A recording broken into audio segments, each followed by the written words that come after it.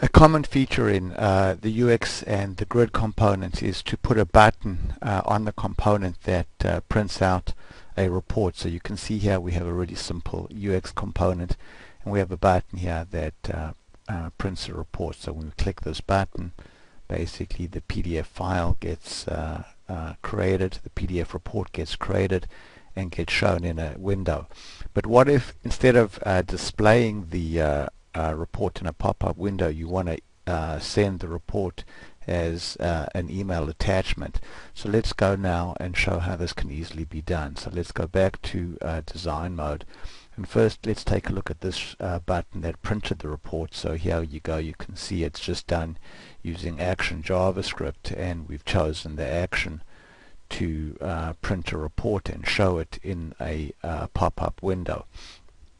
So let's go now to this uh, next uh, button here which uh, emails the report and we can see that this uh, button performs the exact same action. It does the open report label or letter uh, action but here for the target instead of specifying a window which we did for the previous uh, case we've specified xbasic function. So when you choose xbasic function you get prompted for the name of the xbasic function that's going to get called after the report has been printed and you get also you also get prompted for the ID of a div where the progress messages will be displayed so we're going to choose xbasic here and then for xbasic function we can just click the smart field specify the name of the function that we want and then if we click this show function prototype we can see we get a whole lot of help here that tells us exactly what we can do inside this function. So we're going to just copy this to the clipboard,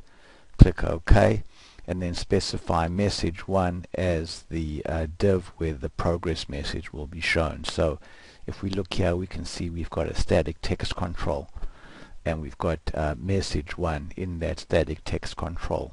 So now we're going to go to XBasic functions and we're going to just um, paste that uh, code in and then uncomment the necessary pieces. So you can see here we have the code that's been commented in and what I'm going to do now is actually put in a uh, debug one so we can actually debug into the code but before we actually run it let me just uh, run through some key points here so inside the E object that gets passed into our uh, callback handler there's a property called file session key. So this is the uh, key in session storage where the binary data for the report that was just printed has been stored.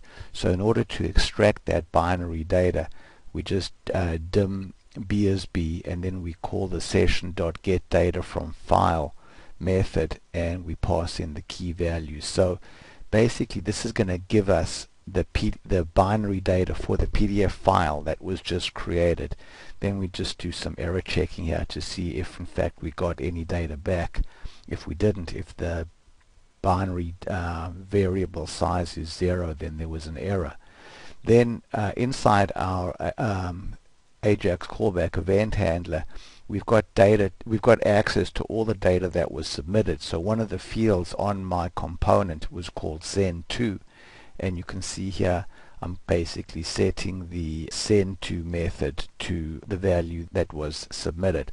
We're going to be using the email send mandrill command so that uh, we're using the mandrill email service. So in order to use this you need to have a secret key that you get from mandrill and you can get that if you don't currently have that by going to mandrill.com and uh, signing up uh, for the key. Now you can either specify the key directly in this function or if you leave this key here blank you can specify the key in your project properties and that's a good idea because then you can specify the key in one place for your entire project. So let's pause now and pick this up in the next video. So let's continue now uh, with our video on how to send a report via email. So you can see that we've set the send to address now to the value that was submitted. We've hard-coded the from address and we've also hard-coded the subject. Um, but of course uh, this could also be uh, picked up from data that was submitted uh, when the button was uh, pressed. Now um, uh, the documentation on how to use the mandrill function is available in the release notes. So if you go help view release notes, you can see it. But you'll see here that we're basically going to specify an attachment. We're going to specify only one attachment. We could do multiple attachments. We're going to give the attachment a name. So there's report1.pdf. Then we're going to call a um, uh, built-in function in uh, XBasic called resolve MIME type which gives a MIME type for a specific file type.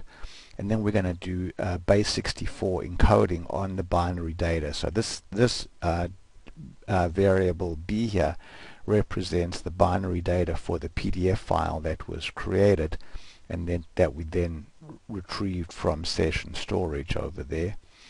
And then finally we're going to go here and we're going to call the email send mandrill function and uh, uh, my secret key in this particular case is blank which means it's going to be picked up from project properties and then we pass in all of our settings over here.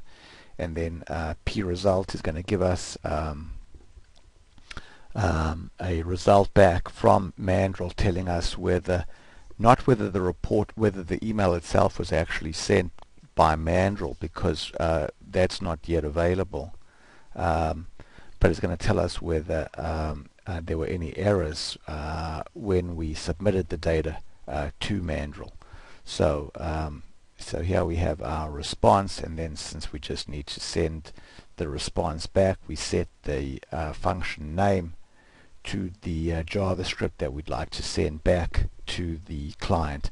So let's go ahead now and uh, run this. So we'll go over to live preview and preview this and now go ahead now and say email report.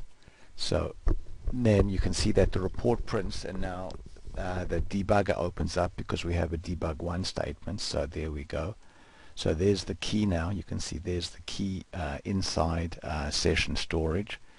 So now we've gone ahead now and retrieved the binary data. So in fact we have 28k uh, of binary data here.